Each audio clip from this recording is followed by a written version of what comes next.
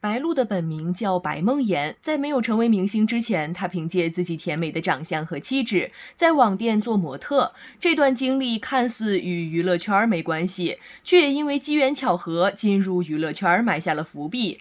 由于白鹿拍摄网店的那家老板娘特别喜欢白鹿，机缘巧合下把她介绍给了一个拍微电影的朋友猫的树。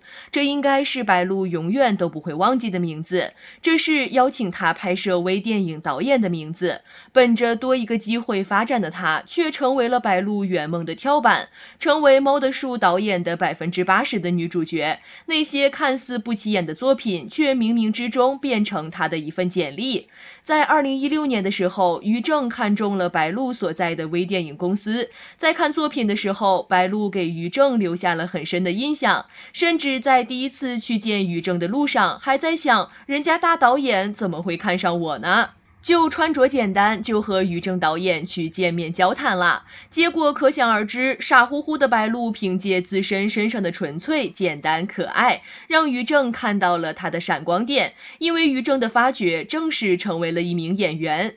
在这之前，不得不说白鹿背后的女人，她的闺蜜何邯丹。在白鹿是模特，她的闺蜜是一家摄影公司的小摄影。两个人当时的收入并不算多，每天忙忙碌碌的，还总是换。幻想、期待哪一天对方能致富，带自己一起去享福。在这种忙碌而又充实的生活中，两个小女孩互相鼓励、互相帮助，走过那段艰辛的岁月。因此，在白鹿成为明星后，第一时间就将闺蜜高薪聘请过来，成为自己的私人助理。不仅给闺蜜开通了亲属卡，还帮着闺蜜去追她喜欢的明星。虽然两个人是工作关系，但更多的是朋友。正是这这段真挚的感情，让他们两个小姑娘更明白友情的可贵。两个人在今后的道路上相互鼓励、相互成长、相互安慰。在我们看来，白鹿是幸运的，也是努力的。成功没有捷径，正是因为自己的努力，所以当于正这场东风吹过的时候，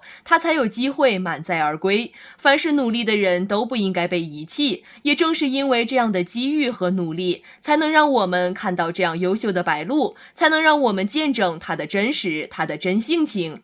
白鹿真的是娱乐圈中逆天改命的典范。相比于科班出身、草根逆袭的故事，听起来美好，但事实却要残酷很多。白鹿成名之前的道路也很曲折。白鹿网红初期学历低，并且也没有擅长的才艺。十八岁时去韩国参加练习生选拔都落选。好在白鹿的外形条件不错，成名前还做过模特。网红圈长得好看的不在少数。但他们的颜值都离不开特定角度的加持，在某些场合中出现过明星和网红同框的画面。当他们现实中站在一起时，观众可以肉眼可见地看出他们差距在哪儿。首先来看白鹿的长相，她的颜值算不上顶尖，但是三百六十度无死角，并且眉眼中透露着一丝英气。与千篇一律的网红脸不同，白鹿的长相辨识度很高。从网红转型为明星最。关键的是要有演技，得有拿得出手的作品。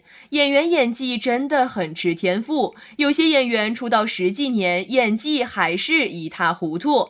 网红出身的白鹿却没有因为演技被观众诟病过。《招摇》是他第一部受到关注的电视剧，他在剧中造型利落又英气，与网红时期的文艺气质大相径庭。当然，白鹿肯定在拍戏前做足了功课，才会将角色形象饰演的这么。逼真，网红出身的他肯定会努力抓住每一次机会。就算成名后的他也不忘初心，在演戏方面绝不含糊，所以才有了他在《周生如故》中的大火。还有就是白鹿的真性情让观众十分喜喜欢。他在综艺节目中毫不做作，一点儿也没有偶像包袱。在《跑男》中，他豪爽的性格也获得了无数粉丝和其他嘉宾的喜欢。他的风头已经有压过杨颖的趋势啦。白鹿从网红发展为顶流，有实力也有运气，但肯定缺少不了努力。出道至今，他驾驭过好多不同类型的角色，今后也必定给我们带来更多惊喜。